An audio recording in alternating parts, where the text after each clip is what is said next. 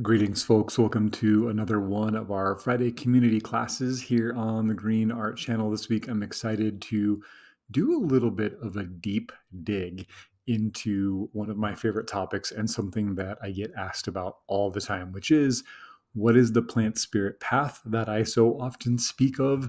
And what does it look like as a spiritual practice? I almost titled this class wandering the way of the herbwise as a spiritual practice in the modern day.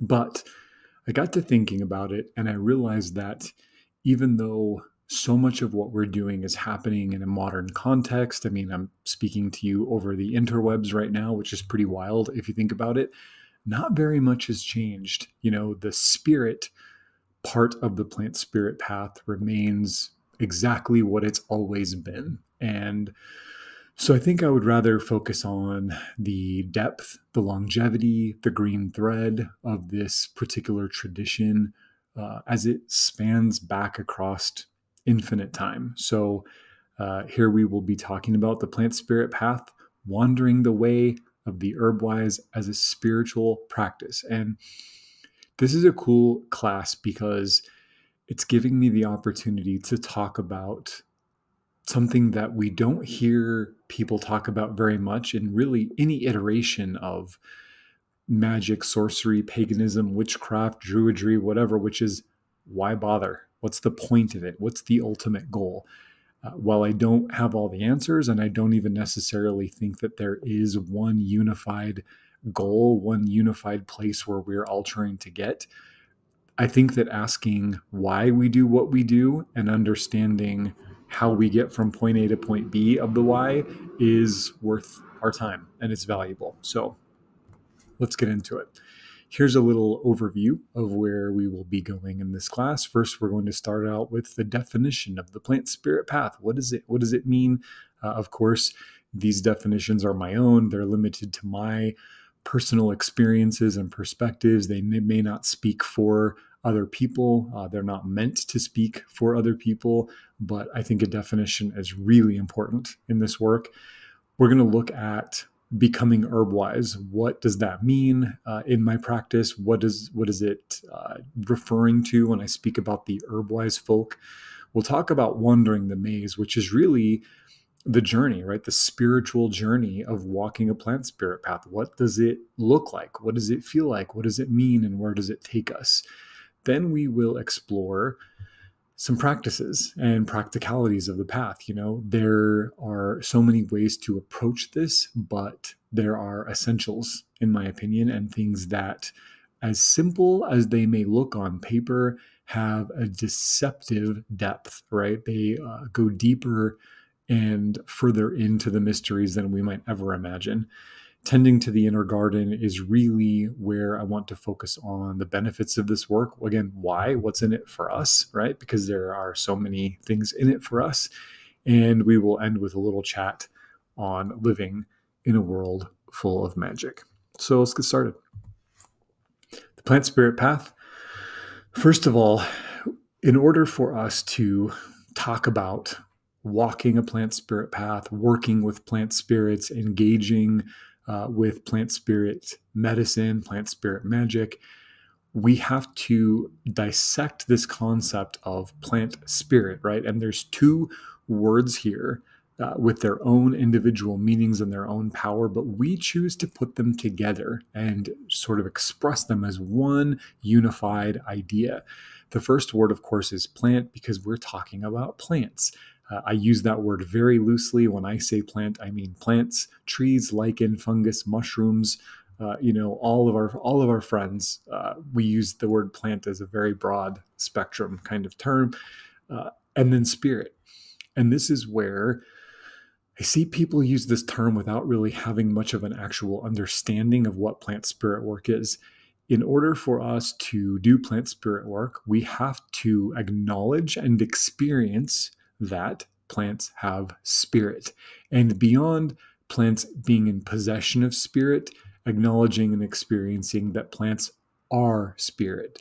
That, like you and I, like your pet cat, your pet dog, like the birds in the trees, they are individual, sovereign, and conscious beings. Now, this concept of having spirit uh, can be very tricky and very nuanced. I have other classes on this, but it is the foundation of the world's oldest nature based spiritual tradition, which is animism, right? Animism takes many forms, many expressions, and it's more of a perspective and an experience of the world than it is a particular practice or tradition, but we definitely see it everywhere all the time.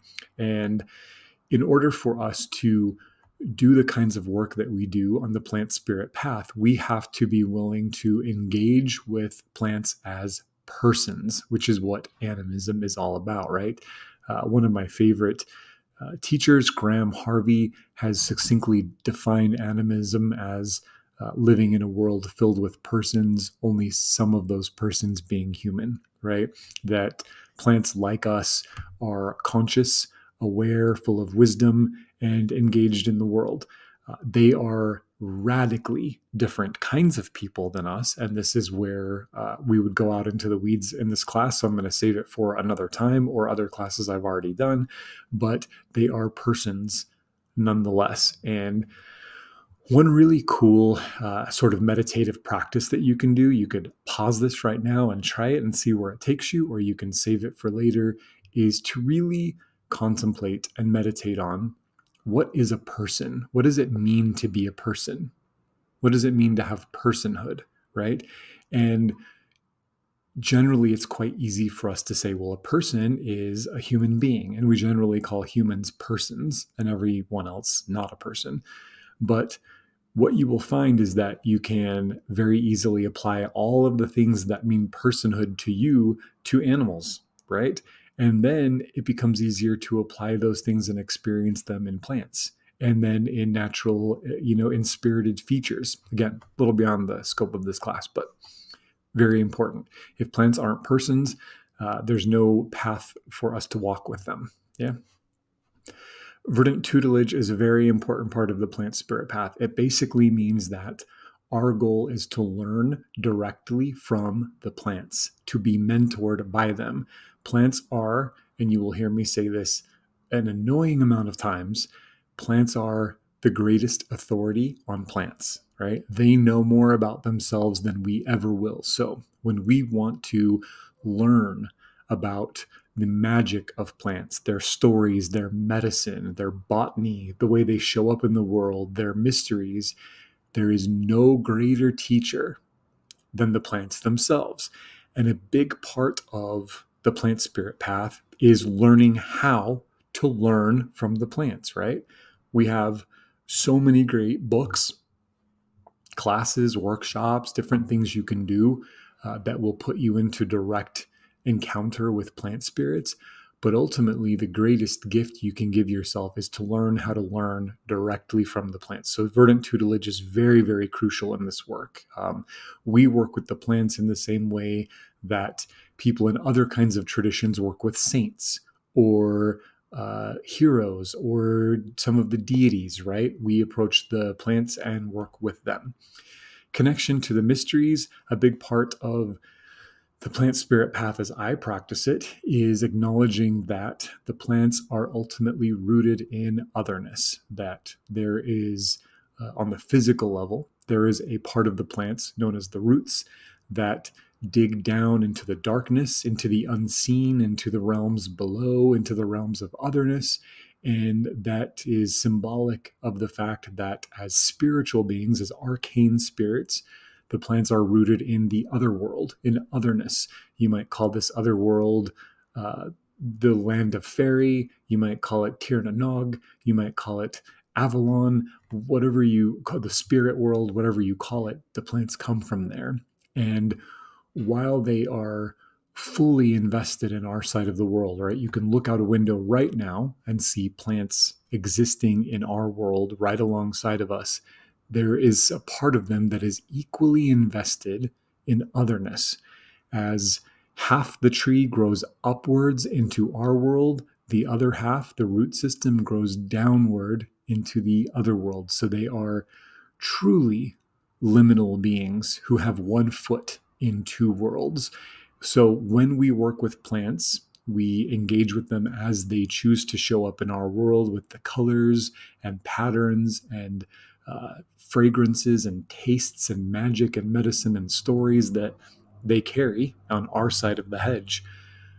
But we are also connected to them in the other world and they end up teaching us something about this other world. Right so this is a very important part of the plant spirit path. Uh, people assume that we only want to engage with the plants in their physicality as they show up here. And even if you do that uh, you will end up getting you know revelation and green gnosis about otherness which is very cool and another big part of this is uh, the cultivation of allies that we through our work over years and decades, uh, we nourish very special and sacred relationships with individual plants that sort of become our closest uh, allies, right? They become our uh, part of our hearth culture, but we simultaneously become connected with all plants through our connection with some plants. And this is because all plants are connected, right? They're all drawing their power from the same well. And for those on a plant spirit path, uh, we get to walk out into the world and experience being surrounded by allies, being surrounded by conscious, perceptive, communicative beings who are radically different than us, but are still fully aware of us, right? They see us uh, and they see us from their own perspective, but they see us nonetheless. And we will come back to this in a, in a later slide here, but uh, this invites us back to living in a world filled with magic. And in my opinion, that blessing in and of itself is worth whatever work and effort we might put into walking this path. So let's move on. Becoming herbwise. This is uh, something that I say is a little bit of a shorthand to why we do this work. What's the goal, right? So, the reason that we do this work is to become herbwise, to know something about the herbs. And that knowledge is multifaceted. Part of it is book knowledge, right? It's learning about botany and growing patterns and how plants are grown and their histories and how they got to where they are. Part of it is studying folklore and understanding charms and magical applications and stories and the ways that plants show up in various bits of mythology. Uh, part of it is medicinal, right? Exploring the ways that herbalists have worked with particular plants uh, over the ages. But then we drop from knowledge into a state of wisdom where all of the knowledge that we have combines with our direct experience of the plants, that verdant tutelage, right? And it becomes wisdom. And when the plants start blessing us with this wisdom, with this direct gnosis, this direct aha, right, from the green realm, we are on the path of the herbwise. Uh, we are becoming people who are like the plants, rooted fully in the world that we live in, but having some access to the other world, the world of the plants, which is quite magical and quite powerful. Uh, we do this work because we want to be wisdom keepers. We want to preserve the stories that have been left to us by our herbwise ancestors, and we also want to preserve our stories, the ones the plants tell us now. And part of keeping this wisdom is part of being herbwise, right? All herbwise people are innately teachers and wisdom keepers and storytellers because the plants tell us stories and we get excited to tell those stories to other people, right? So that's how it works. It's uh, we recruit and we proselytize.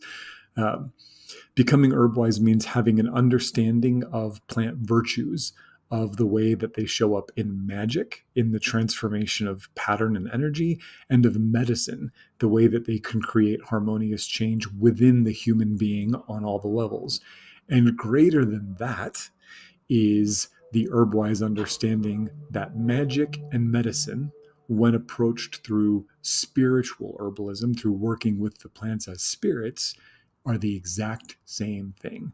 That uh, the plants do not differentiate what is a magical transformation and what is a medicinal transformation in the same way we do. They just show up with all of their virtues, with all of their blessings and all of their wisdom and all of their power and influence in the world and do what they do. We, of course, uh, break that down and we write about some of it in books on herb magic and we write about some of it in books on herbal medicine but from their perspective there's no difference their powers are their powers their virtues are their virtues and uh, this contemplation of the unity of magic and medicine through herbal work right uh, also reminds us that plants are not here to serve the exceptional human narrative, right? They're not tools for us. They are not resources that are here just for us to tap, that they are sovereign beings living their own life, having their own experience, and they are so gracious and generous. Uh, in fact, they are really bastions of generosity uh, to share everything they do with us.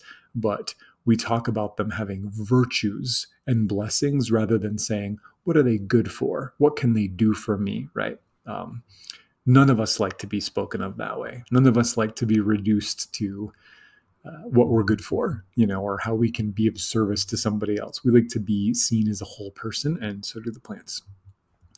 Again, we end this slide with this concept of being surrounded by allies, right? A big part of the work of becoming herbwise focuses on living in a world where we are in the direct presence of our spiritual teachers, of our uh, teachers and initiators and mentors from the other realm.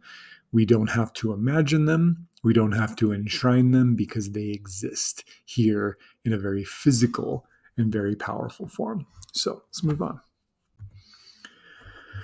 Wandering the maze, I like to call it, and I love to use these old Troy Town mazes as a symbol for the deep forests, the primordial forest uh, around us, but also of the forest within, you know, navigating uh, our wild internal landscapes that we all have.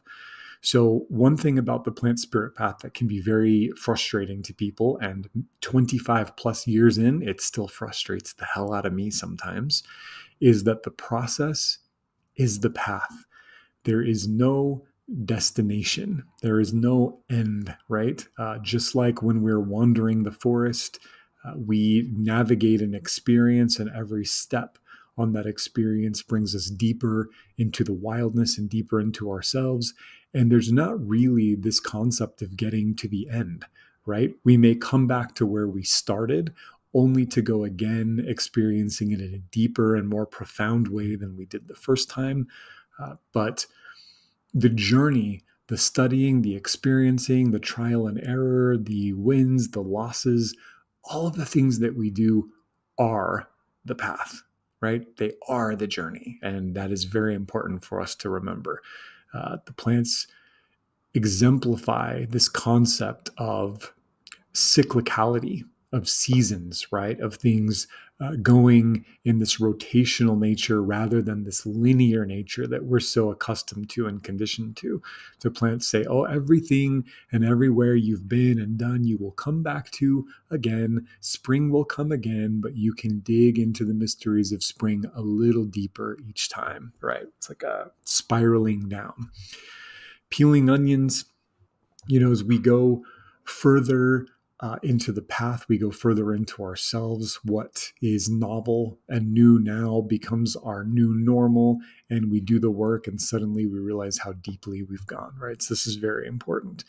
And I think also about the symbolism of tree rings, which these old Troy Town mazes remind me of when I look at them. Uh, they remind me of a you know a cross section of an old tree where you can go through and survey the years of growth the things that have happened, the hard years, the good years, and realize uh, where you've been and what you've experienced, and how every bit of study, every bit of healing you've received from the plants, every plant spirit journey, every plant you've stewarded in your garden and uh, been excited to identify in the wild has added a ring to your own internal tree, your own map of where you've been. And so we say the path is very much a wandering path rather than a straight and narrow path, right? Because uh, it is, right? Again, it goes in these circles and spirals sometimes, which we learn to love. So, some practices and practicalities. First, we always want to seek the blessings of our ancestors and specifically our herbwise ancestors, those folks who came before us, who were engaged with the plants in the way that we are now, the wisdom keepers that are uh, part of our family line. And even if you've never heard of one, I guarantee you've got at least a few not too far back who knew the old lore, knew the charms, knew which herbs were capable of healing which diseases, uh, which plants needed to be harvested when, which plants could make someone sick, right? Uh, we have them in our each of our families, so to call out to those ancestors is very, very smart because they are always waiting to be plant-like. And as I mentioned earlier, plants are bastions of generosity, and plant people are equally generous. They are always eager uh, to share, you know, and so your ancestors are there doing that. And we have, of course, uh, the collective, of Herbwise ancestors, all people from all places and all times who have ever been initiated into the dual citizenship of the Herbwise, and they will bless us if we open.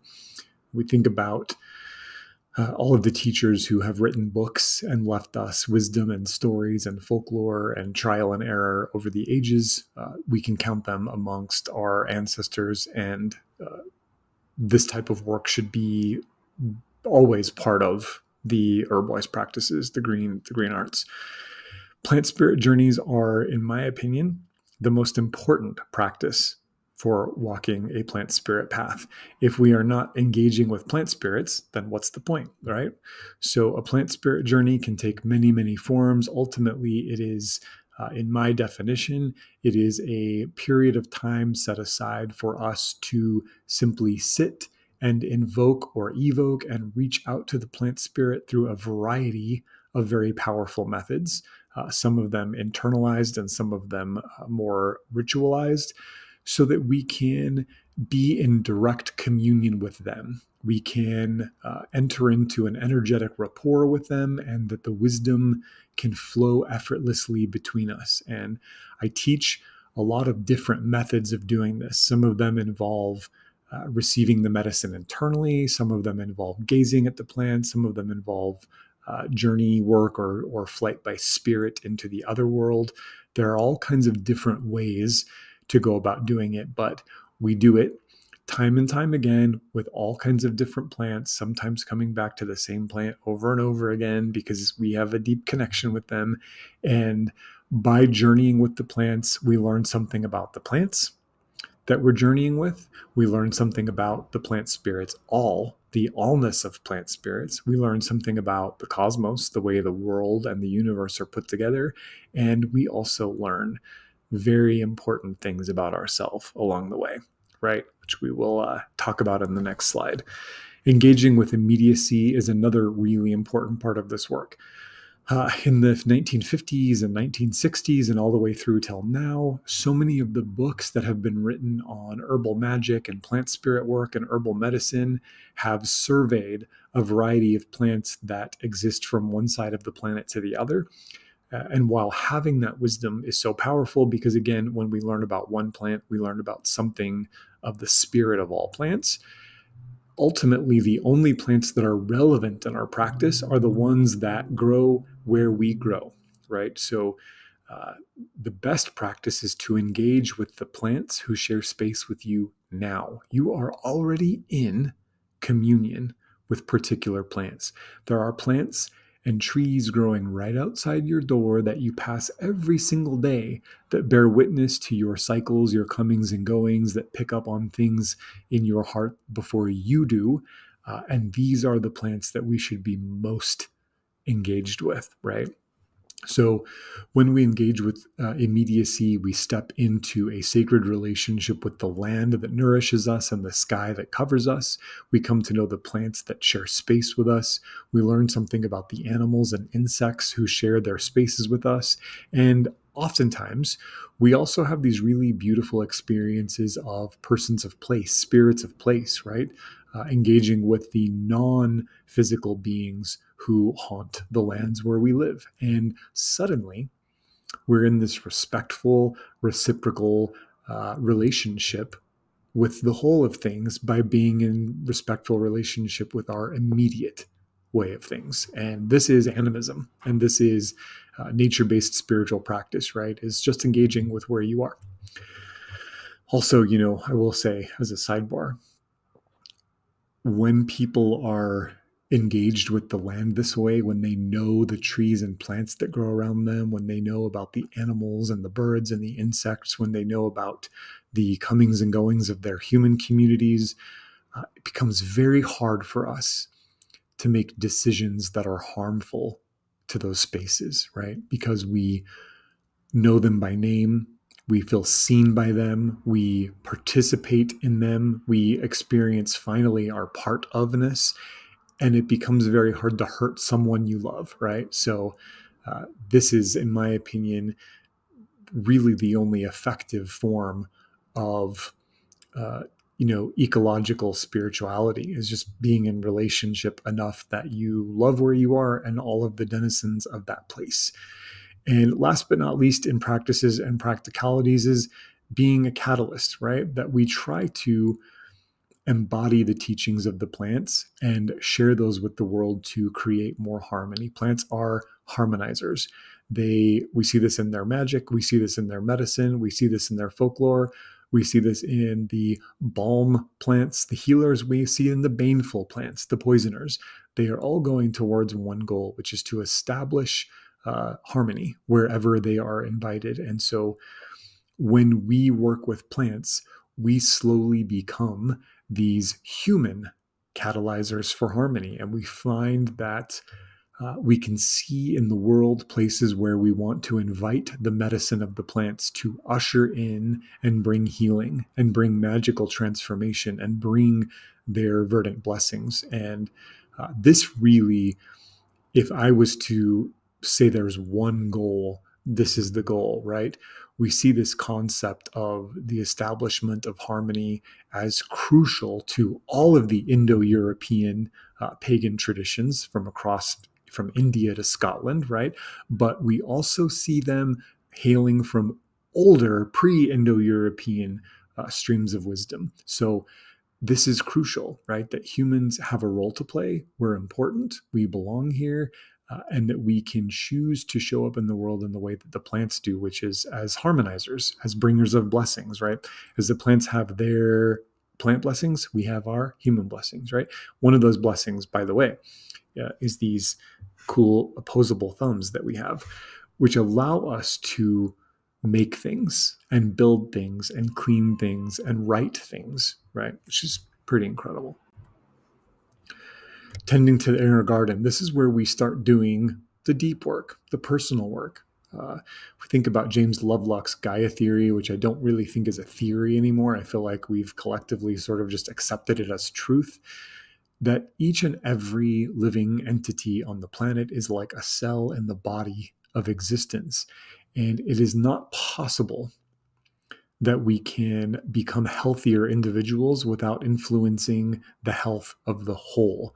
So there is always room in this work to be selfish. There's always room in this work to say, how can I be happier? How can I be healthier? How can I release this, release this pain that I've had, or uh, you know, have this thing that I've that I want to have in life, or this, this ability.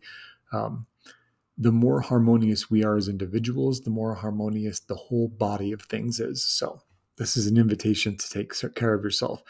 Uh, tending to the inner garden is that process. And I call it this because we have many traditions of uh, working with an imaginal liminal space within that takes the form of a curated garden. The first uh, thing to consider here is the plant perspective that plants can perceive our state of wellness in a much bigger way than we can, right?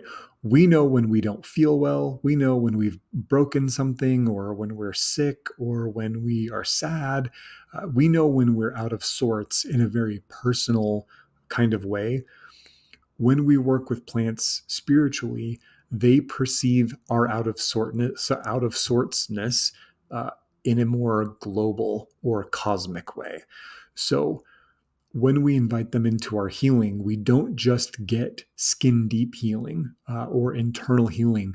we are also given the opportunity to heal in the way that the plants perceive our healing, which is in this really big capital S spiritual kind of way. Uh, and so people find that even if they have worked with herbal medicine for many years and you know had really great healing success with herbal medicine or whatever the case is they find that when they start doing plant spirit work the healing takes on a different kind of sentiment. The depth uh, becomes different, the power becomes different, and the result becomes different because the plants are uh, being allowed to step in with their particular wisdom, right? Their particular perception, which is much greater than ours because, again, they're in two places at once, right? They can see the uh, manifest side of us and they can see the spiritual root side of us, and they can help us um, get to those places. Tending to the inner garden is also a reclamation and a rec, uh, sort of a recognition of part of us, right? That we are part of all of this, that we belong here, that everything we do matters, that everything we um, contribute to this world does create change, that how we show up means something, right?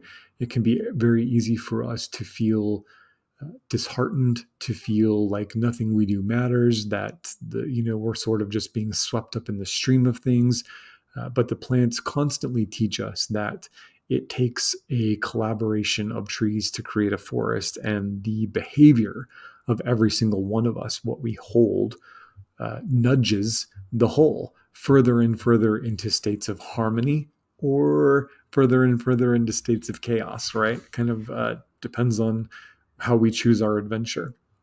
And at the end of the day, and some you know sometimes the most interesting but also the least fun part of this work is that the plants will always encourage us to work on our shit. Uh, they will always say, "Hey, you have this thing you've been ignoring, or you have this." Dark space within you that deserves light and warmth. Or as we peel the onion of our wellness, we get deeper and deeper into things. And they want us to get better, right? They want us to be the best version of ourselves that we can. They want us to show up as our full potential. You know, the plants will always ask us to be the most beautiful we can be, right? This is a very, very big ask from them, but they simultaneously ask us to do it and also support us in doing it. So, again, when we are working on the chronic headache or the anxiety or the the whatever the thing is that we're working on, we find that the the the plants will gently gently just point in the direction of the root of things. And sometimes we're conscious of it and sometimes we're not. And it doesn't matter either way. Uh, they will start finding those spaces that have become crystallized and frozen and solid and really dug into pattern, and they will start softening them. And so, as we are healing this seemingly physical pattern, suddenly the world that we live in begins to change. Our experiences change. We start to change as we uh, get deeper into the roots of things. And it's quite a magical process. Speaking of magic, all of this leads to living in a world full of magic. A lot of us had some time when we were kids when we lived in a magical world. We stepped out into a world where we had more questions than answers, where we had this understanding that anything was possible. And we also had an understanding that as we perceived the world of nature, nature perceived us back, that we were being looked back upon, right? And a lot of people who get drawn to the plant spirit path also, you know, had experiences when they were younger with maybe seeing or having experiences with non-human persons, with the fairy, with the ancestors, with plant spirits, uh, with animal spirits, whatever. Uh, a lot of us just lived more magically. We just sort of experienced the world in this more magical place. And of course, as we age and we let the conditioning of uh, the world come in, it uh, breaks that part of us down, you know, it calluses it, but it's still in there.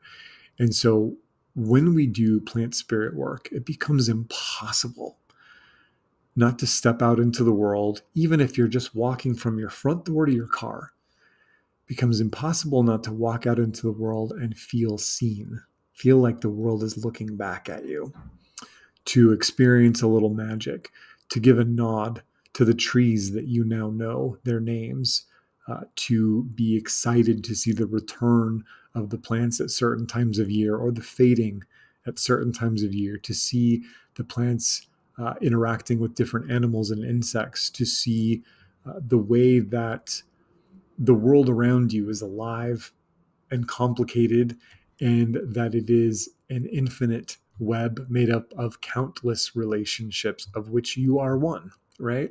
And so it changes things. And when we start being able to perceive the interconnectedness of all things, that the world is filled with magic in this way, because we can perceive it, it becomes easy for us to engage with it and to take those threads that maybe are linking to something that we're not happy about or that we want to change or something that we love and want to nourish and to pluck those.